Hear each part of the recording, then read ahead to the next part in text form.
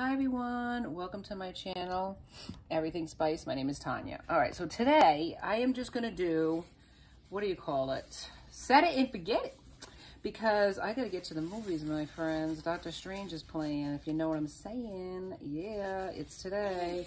Went to church, now we're gonna go to see Doctor Strange. So, I have to get something fast on the table.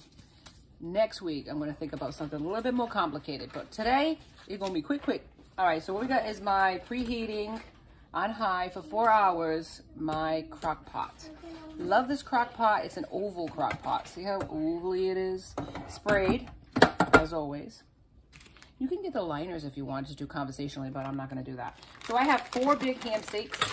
Got these at a, what do you call that? Wholesale place that shall be unnamed. Opened it up. There's juice and all that good stuff in it. All right, so, and there's juice all over my stove top, which is fabulous. But if you ain't making a mess, you ain't doing it right. That's what I would say here.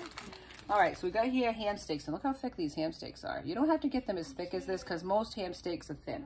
But I'm gonna pile up my crock pot, the bottom, with these ham steaks. And if you have two ham steaks, use two ham steaks. If you have three ham steaks, you know, and so on and so forth. If you have more, go ahead. If you have a bigger family, pile it up. As long as your crock pot can take it, you want to be able to cover the crock pot, right? You don't have to cut these. I know you're saying, wow, you're just throwing them in. That's right. You want it easy, baby. We don't want it tough. You want to be able to get this in and get it out the door. Now, I didn't do it before church because these are ham steaks. So what is ham steak? Smoked. They're already like pre-cooked. All we're doing is like heating it up basically. All right, so what I have here is now that's done. Let me get these off before I touch anything. Chili. Okay, so I'm going to use a chili sauce.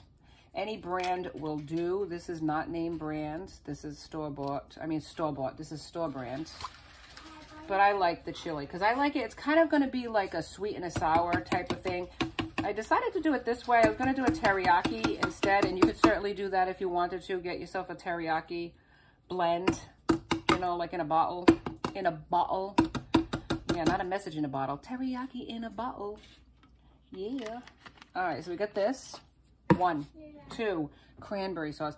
What doesn't sound more holiday than that? Nothing as far as I'm concerned. Holiday. And I got this brand, but any brand will do. What? It's the whole berries. Oh boy, I never bought that before. Why did I do that? Ugh, I don't know. All right, well, it'll melt in, whatever. Whatevs, whatevs, whatevs. Tomato, tomato, potato, potato. Let's call the whole thing off. Yeah. All right, so I'm mixing all this in. And then the next one I'm going to do here for spice, because this is everything spice, my friends, right? Pepper. Now, this is ham. And ham is salty any ham is salty because they, you know, let's face it, that's how they like kind of like preserve it. It's preserved like a salty kind of thing. So I don't put any salt in mine, but if you like salt or you want a salt substitute, by all means, do it. Do it. It's up to you. This is a method. Cooking is a method. Baking is a science. So if you wanted to put salt in yours, you go right ahead, my friend. All right, I'm going to put parsley. I like the greenage and the red with the green is Christmas all year round, baby. That's right, 365. All right, and the last thing I'm using for spice, this is the secret weapon. Yes, you don't want to know? You don't want to know? You don't want to know? All right, let me smell it first. See how strong. Now, my mother liked, with her ham, she liked cloves. Not everybody likes cloves, if you know what I'm saying. But I'm going to do this one. Look at this. It seems like every jar I'm opening is like, no. What's up with that? Ooh yeah, baby, yeah. Smell it, smell it, smell it. This is very strong. And it possibly could have cloves in it. Wow. You know what it is? You know what it is? It, what is under door number one? I don't know. What is it? What is it? What is it? It is Oriental Five Spice. Yeah, I'm going there. I'm going there. But I am going to use it judiciously. And what does that mean? Very tiny. Because a little, wow, little goes a long way, my friends. So a little zhuzh, a little, that's it. Don't go crazy because you don't know how you're going to feel about it. And if you've ever tried Chinese five spice, Oriental Chinese five spice, you might not like it. Let me see, what does it have in it? It says cinnamon, anise. Looks like, it looks like a kind of a salt thing, ginger, nutmeg, and cloves. All right, cloves are in here. There you go, Ma. I'm using the cloves in the Oriental Five Spice, just saying. Oh, yes, and did I forget? Come on, hello, happy Mother's Day, everybody. To you mothers out there. Coco, I'm not talking to you. Coco, are you a mother? Cut it out. For the mothers out there, Coco, that's what I'm saying. Stop being crazy. Nobody's knocking at the door. Are they knocking? Come in. Get out of here. Get out, doggy. Get out. She's a foolish dog. Foolish, joke. foolish, foolish. All right, anyways, happy Mother's Day, everybody. And that includes fur mommies and daddies. Come on now. Well, daddies, yeah, well, whatever. You know, sometimes we take on the role of more than one. Sometimes we're single parents and we be mommy. So happy Mother's Day. Whatever. Fur mommies, um, step families, you know, step, you know, mommies and mommies. You know, we have all of our roles to play, right? So happy Mommy's Day to all of you mothers out there. All right, excellent. All right, so I got this all in.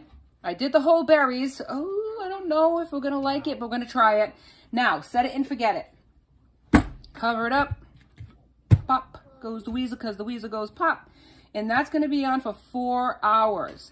Now, join me on the other side as we make our sweet and sour ham steaks, baby, for Mama's Day on Everything Spice. Hi everyone, we're back from the movies and I am not giving any spoiler alerts at all, but the movie was soups cool. Just saying. I would highly recommend the new Doctor Strange movie. But the one strange thing, I will give it out, I will give it out because there are some people that did, that did watch it. How many times did they say Doctor Strange's name in that movie? It was, I'm telling you, I bet you there's people that literally counted it. I have never heard the name Stephen said as many times as I have in that bloody movie. I'm not even kidding you. Felt like 50 times, just saying. All right, here we go.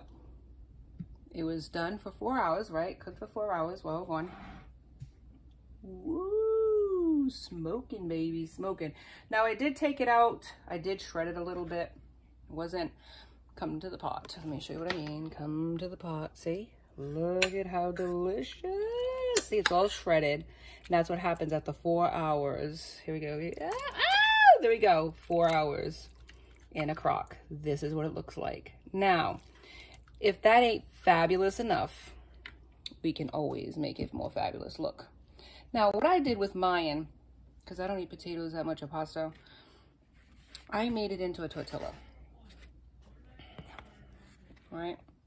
I put it into a wrap and I made it into a tortilla. And that is fabulous in itself, but we can make it even better. I made some hash browns. So that's what your plate is gonna be. I'm gonna put some hash browns and make you a plate. And of course we have to have the juice. Hello. I'm gonna put the juice all over it. Mm -mm -mm. Nobody is gonna tell me this is dry. And here is your portion. And if you enjoyed this episode as much as I enjoyed bringing it to you, please like and subscribe and join me next time for Everything Spice. Have a wonderful Sunday, everyone. I hope it's as sweet as this is to be. Be safe.